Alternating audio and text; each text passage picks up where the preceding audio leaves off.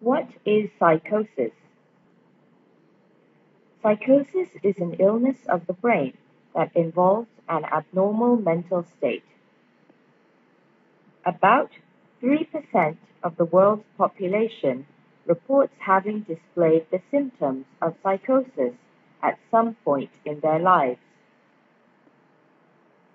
Based on Hong Kong's population, there are five new cases every year in every 10,000 people. Psychosis affects people of all age groups, but it is most prevalent in 15 to 25 year olds, affecting about 700 individuals within this age range every year. It is important for individuals suffering from psychosis to seek help as soon as possible. Local research shows that psychotic patients seek help on average 1.5 years after displaying symptoms, and this delay significantly impacts their recovery. If left untreated, psychosis may develop into more serious mental illnesses.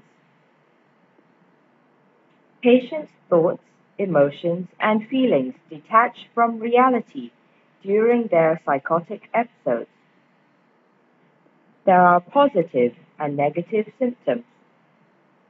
Positive symptoms are those that most individuals do not normally experience but are present in people with psychosis. Positive symptoms include hallucinations, delusions, and thought disorders, for example, disorganized thoughts or speech.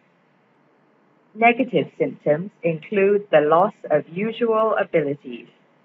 Affected patients will appear to be emotionless, displaying poverty of speech, lacking motivation, and being socially withdrawn.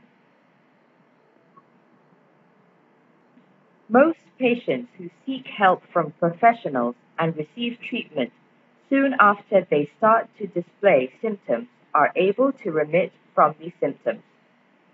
Each patient's behavior and recovery process is affected by individual and environmental factors.